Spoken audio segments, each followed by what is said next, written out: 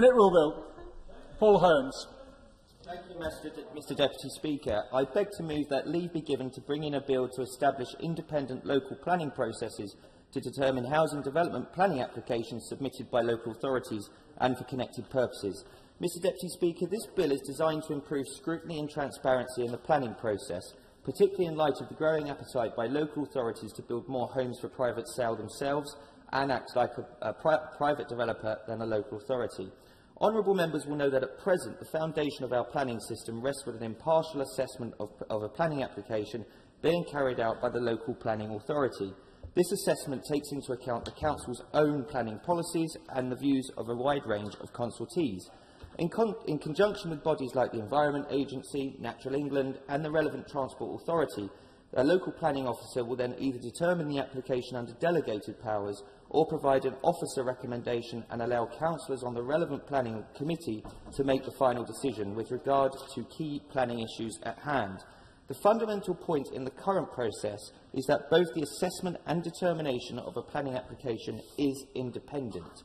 Uh, in the majority of cases, the current system works well, and local planning authorities can deal with the full spectrum of applications it receives from individuals, SMEs, large private developers, housing associations and other parts of the public sector.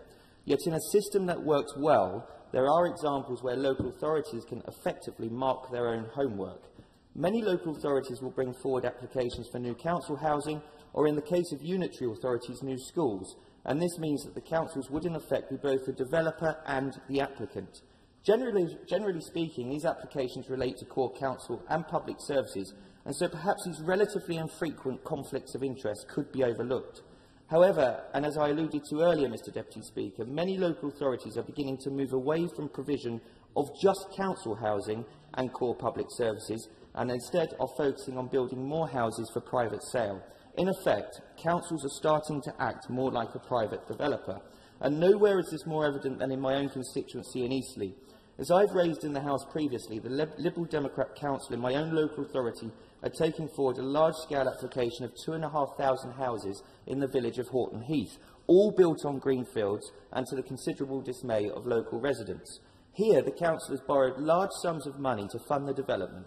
The council has bought land off of, of, of, off of a private developer and expanded the original planning permission for the site from 900 homes to 2,500. And we already know that the profits from this development, which are overwhelmingly for private sale, are built into the Council's future budget.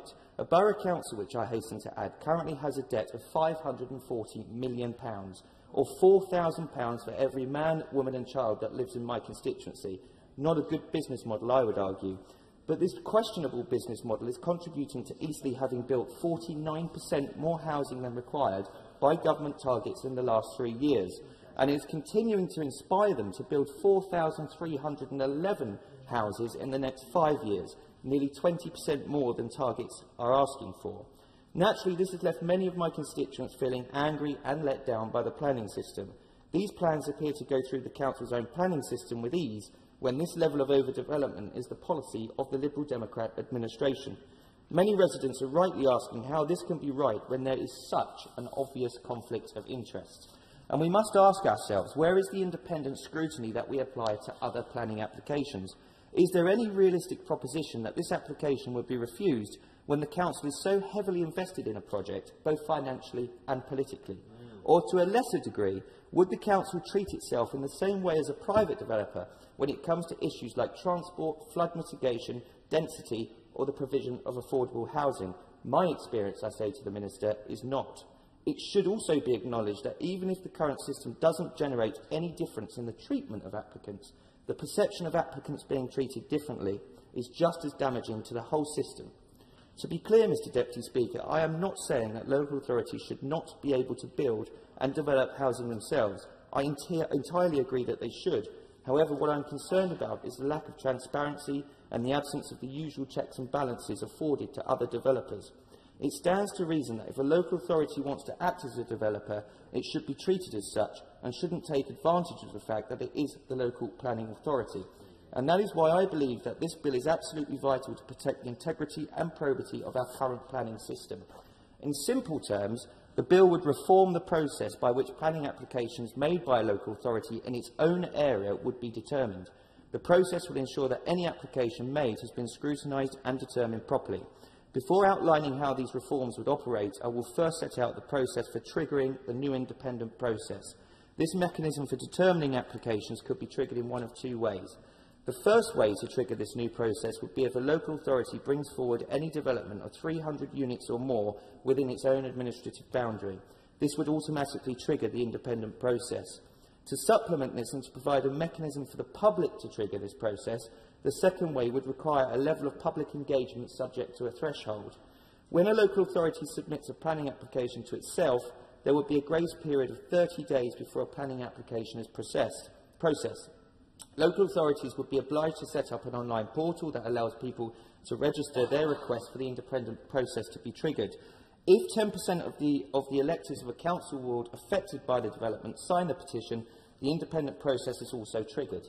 This, is not only, this not only provides a safeguard for multiple applications just below 300 units, it also allows members of the public to direct controversial applications to the independent process if a suitable number of electors is reached. This then leads to the reforms to the actual process.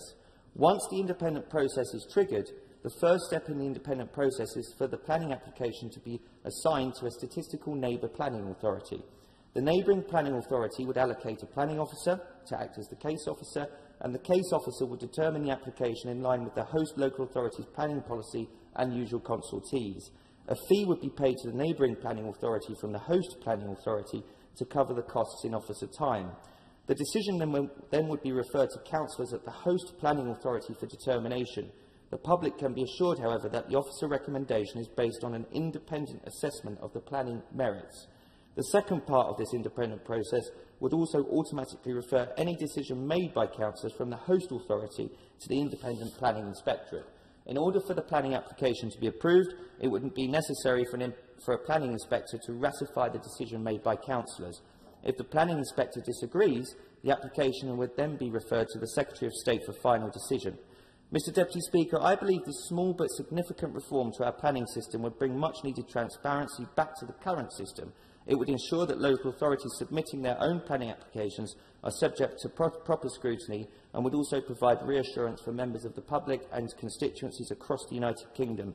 It would end the conflict of interest that exists in the current system and ensure that local authorities are not granting planning permission to themselves.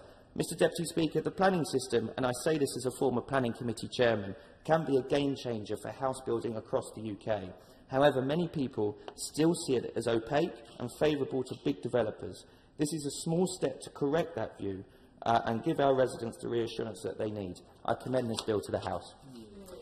I've been given no indication that anybody intends to oppose this motion, and indeed I see none, so I intend to pose the question. And that question is that the honourable member have leave to bring in the bill. As many as of that have say aye the contrary. No, I think the ayes have it. The ayes have it.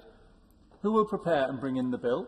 Thank you, Mr Deputy Speaker. Mr Christopher Clarkson, Sara Britcliffe, Robbie Moore, Ben Everitt, Scott Benton, Andrew Griffith and myself, uh, Stephen Hammond and myself, Mr Deputy Speaker. Paul Holmes.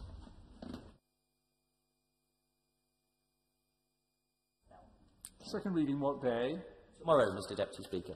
Tomorrow. Thank you very much. Those leaving the chamber, please do so carefully and COVID conscious, please. The clerk will now proceed to read the orders of the day.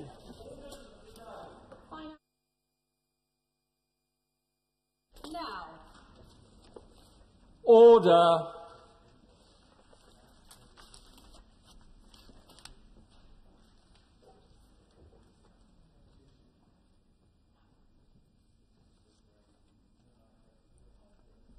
Order before us.